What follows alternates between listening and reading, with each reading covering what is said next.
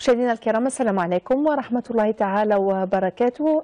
تبقى أجواء شتوية تميز كافة المناطق الشمالية خلال يوم الغد بإذن الله. هذا بتساقط بعض الأمطار نحو السواحل الغربية التي ستكون على شكل زخات رعدية نحو السواحل الوسطى والشرقية. قد تكون أيضا مرفوقة بتساقط لحبات البرد. الثلوج بإذن الله ستستمر بالتساقط نحو المدن الداخلية التي يتراوح علوها بين 800 لغاية 1000 متر.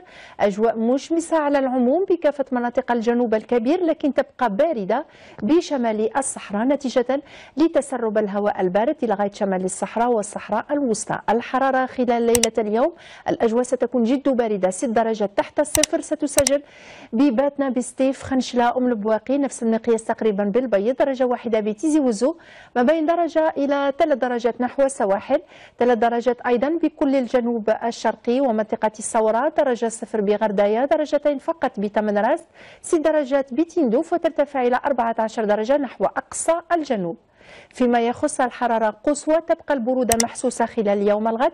درجتين فقط بالبيض.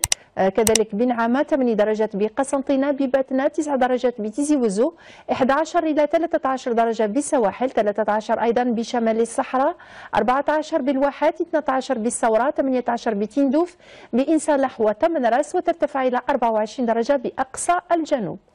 أما البحر سيبقى قليل الاضطراب إلى مضطرب محليا بالسواحل الغربية مضطرب تماما بالسواحل الوسطى والشرقية. رياح ضعيفة إلى معتدلة شرقا تأتينا من غربية إلى شمالية غربية تدور أحيانا إلى شمالية شرقية بسواحل الغربية. وقت شروق الشمس ريحة الغد على مستوى العاصمة وضواحيها سيكون في حدود الساعة السابعة صباحا و52 دقيقة والغروب على الساعة السادسة مساء وتسع دقائق. مشاهدينا أشكركم على حسن المتابعة وإلى اللقاء.